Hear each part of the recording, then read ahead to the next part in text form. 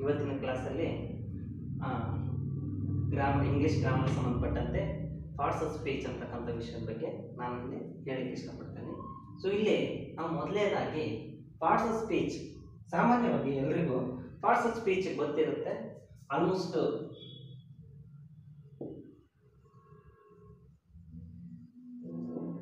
parts of speech almost parts of speech ಯಾವಪ್ಪ ಅಂದರೆ ಎಷ್ಟು ಅದಾವು? ಅವು ಕಾಮನ್ ಆಗಿ ಗೊತ್ತಾಗ ಇರ್ತೈತಿ.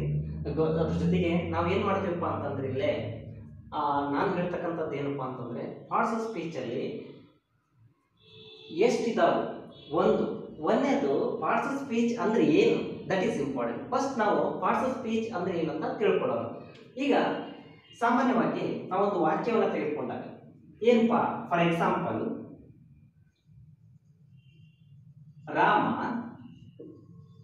goes to temple.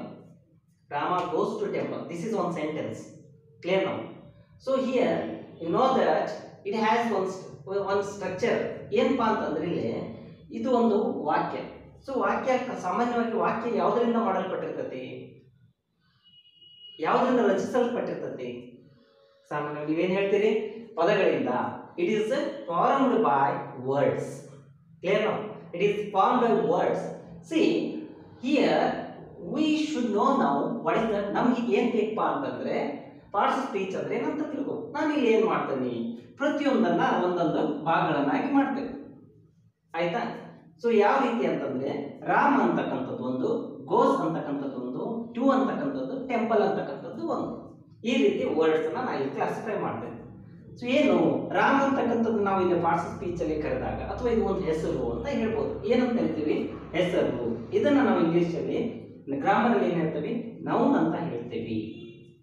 ಅದೇ ರೀತಿ ಗೋಸರ ತೆಗೆದುಕೊಂಡಾಗ ಇದು ಒಂದು ಕ್ರಿಯೆಯನ್ನು ಸೃಷ್ಟಿಸ್ತಕ್ಕಂಥದ್ದು ಅವನು ಹೋಗ್ತಾನೆ. ಎಲ್ಲಿ ಹೋಗ್ತಾನೆ? ಗುಡಿಗೆ ಹೋಗ್ತಾನೆ. ದೇವಸ್ಥಾನಕ್ಕೆ ಹೋಗ್ತಾನೆ. ಇಲ್ಲಿ ಹೋಗ್ತಾನೆ ಅಂತಕ್ಕಂಥದ್ದು ಒಂದು ಕ್ರಿಯೆ. ಇದನ್ನ ನಾವು English in English is called verb in parts speech it is verb ಇದು ಪಾರ್ಟ್ಸ್ ಆಫ್ ಸ್ಪೀಚ್ ಅಲ್ಲಿ ನಾವು ಇದೇ ಹೇಳ್ತೀವಿ ವರ್ಬ್ ಅಂತ ಹೇಳ್ತೀವಿ. ಅದೇ ರೀತಿ ಈ ಒಂದು ಟು ಅಂತಕ್ಕಂಥದ್ದು ಇದನ್ನ ನಾವಿಲ್ಲಿ ಪ್ರಿಪೋಸಿಷನ್ ಅಂತ ಹೇಳ್ತೇವೆ. ಏನಂತ ಹೇಳ್ತೀವಿ? ಪ್ರಿಪೋಸಿಷನ್ ಅಂತ ಹೇಳ್ತೀವಿ. ಸೊ ಅದೇ ರೀತಿ ಇಲ್ಲಿ ಕೂಡ ನೌನ್ ಅಂತ ಹೇಳ್ತೀವಿ. Because of it is name of place naming things ಏನಾರು ಇರಲಿ, ನಾನು ಎಕ್ಸ್ಪ್ಲೇನ್ ಮಾಡ್ತೀನಿ ಮುಂದೆ. ಇಲ್ಲಿ ನೋಡ್ರಿ, ಪ್ರತಿಯೊಂದು ಶಬ್ದವು, ಹೌದಾ? ಈ ವಾಕ್ಯದಲ್ಲಿ ಪ್ರತಿಯೊಂದು ಶಬ್ದವು ತಂದೆ ಆಗಿರ್ತಕ್ಕಂಥ ಒಂದು ಕ್ರಿಯೆಯನ್ನು ಹೊಂದ್ಕೊಂಡಿರ್ತೈತಿ ತಂದೆ ಆಗಿರ್ತಕ್ಕಂಥ ಒಂದು ಕ್ರಿಯೆಯನ್ನ ಹೊಂದ್ಕೊಂಡಿರ್ತದೆ ಸೊ ಇಲ್ಲಿ ಇದು ನೌನ್ ಅಂತ ಕ್ರಿಯೆ ಹೇಳಿದ್ರೆ ಇದು ಗೋ ವರ್ಬ್ ಅಂತ ಹೇಳ್ತಾರ, ಇದನ್ನ ಪ್ರಿಪೋಷನ್ ಅಂತ ಹೇಳ್ತಾರ, ಇದನ್ನ ನೌನ್ ಅಂತ ಹೇಳ್ತಾರೆ. ಹೀಗೆ ಒಂದು ವಾಕ್ಯದಲ್ಲಿ ಆ ಶಬ್ದಗಳನ್ನ ನಾವು ಯಾವ ರೀತಿ ವರ್ಗಗಳನ್ನ ಮಾಡ್ತೇವೆ, ಅವುಗಳ ಕಾರ್ಯಗಳಿಗೆ ಅನುಗುಣವಾಗಿ ನಾವು ವರ್ಗಗಳನ್ನ ಮಾಡ್ತೇವೆ. ಯಾವ ರೀತಿ ಕಾರ್ಯಗಳಿಗೆ ಅನುಗುಣವಾಗಿ? ರಾಮ್ ಅಂತಕ್ಕಂಥದ್ದು ನಾಮಪದವನ್ನ ಸೂಚಿಸ್ತತಿ. ಅಂದ್ರೆ ಆ ಒಂದು ಹೆಸರನ್ನ ಸೂಚಿಸ್ತತಿ. ಗೋಸ್ ಅಂತಕ್ಕಂಥದ್ದು ಕ್ರಿಯೆಯನ್ನ ಸೂಚಿಸ್ತತಿ.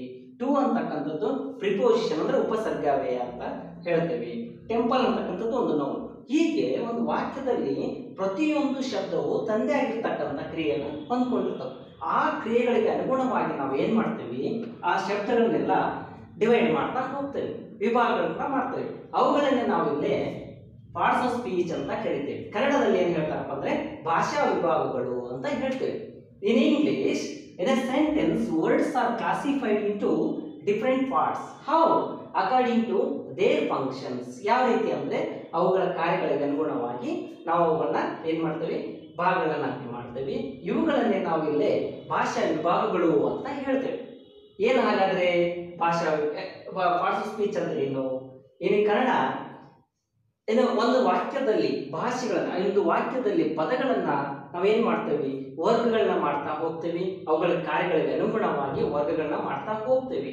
ಅದರ ಜೊತೆಗೆ ಅವುಗಳ ಅವುಗಳನ್ನ ವಿಭಾಗಗಳನ್ನಾಗಿ ಮಾಡ್ತೇವೆ. ಅವನ್ನೇ ನಾವು ಭಾಷಾ ವಿಭಾಗಗಳು ಅಂತ ಹೇಳ್ತೇವೆ. ಸೊ ನಮಗಿಲ್ಲಿ in English the words are classified into different parts according to their function in a sentence it is called parts of speech they are called parts of speech okay ವೀಕ್ಷಕರೇ ನಾವೀಗ ಪಾರ್ಟ್ಸ್ ಆಫ್ ಸ್ಪೀಚ್ ಅಂದ್ರೆ ಏನು ಅಂತ ತಿಳ್ಕೊಂಡ್ವಿ. Parts of speech ಯಾವುವು ಅಂತಕ್ಕಂಥದ್ದನ್ನ ನಾವೀಗ ತಿಳ್ಕೊಳ್ತೀವಿ